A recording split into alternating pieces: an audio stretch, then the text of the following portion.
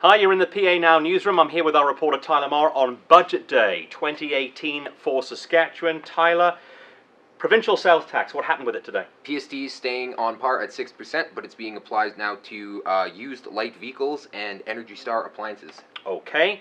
What happened with job cuts, if any? No job cuts. Everything uh, seems status quo for now. Okay. Um, rural policing.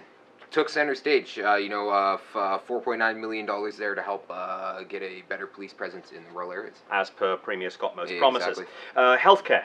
Healthcare seeing uh, one of the big jumps, uh, two two and a half percent up to 5.7 billion. Okay, explain deficit now, surplus later. Yes, deficit uh, this year uh, 365 million, but the province says they're going to have a surplus next year, modest of six million dollars. Again, following through on Moe's promises to balance. We hope.